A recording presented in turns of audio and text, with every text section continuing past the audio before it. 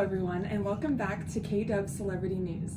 This year, despite the coronavirus pandemic, the Kardashian family is still a highlight of social media and celebrity news outlets.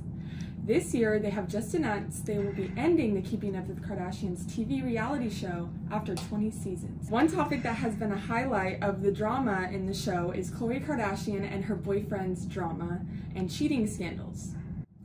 The first cheating scandal came a few days before she gave birth to their daughter together, True. The second incident was Tristan cheating on Khloe with her little sister Kylie Jenner's best friend, Jordyn Woods. Jordyn didn't think about me.